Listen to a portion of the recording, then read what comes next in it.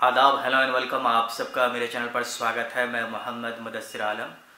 C U SET के मेरे videos को पसंद करने के लिए आप सबका बहुत बहुत शुक्रिया। थैंक्स अ लॉट आपने दूसरे वीडियोस को भी काफ़ी पसंद किया है। अभी बी की भी एडमिशन चल रही हैं।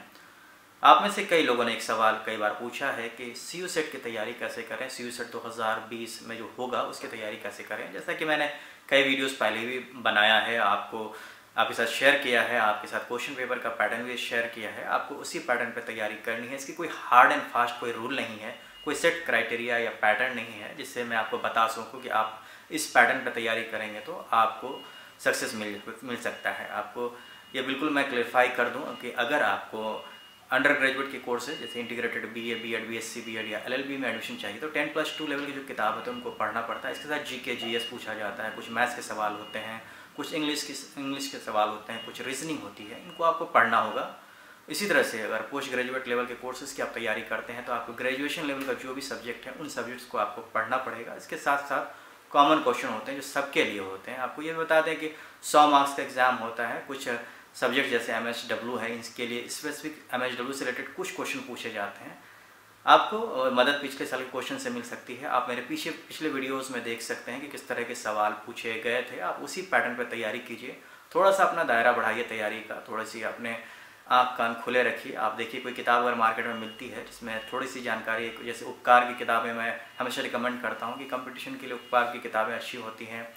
एस चार पब्लिकेशन की कुछ किताबें होती हैं, जो कि टेन प्लस टू लेवल के बी एड एग्ज़ाम्स के लिए या फिर इस तरह के एंट्रांस के लिए वो आप मार्केट में आपको मिलेंगी। तो आप पब्लिशर का बढ़िया से चयन कीजिए, लेकिन मैं आपको बार बार यही सलाह दूँगा कि आप टेक्स्ट बुक भी बहुत पढ़िए।